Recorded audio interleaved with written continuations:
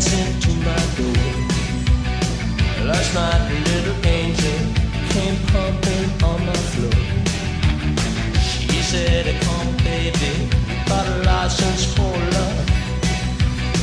And if it expires,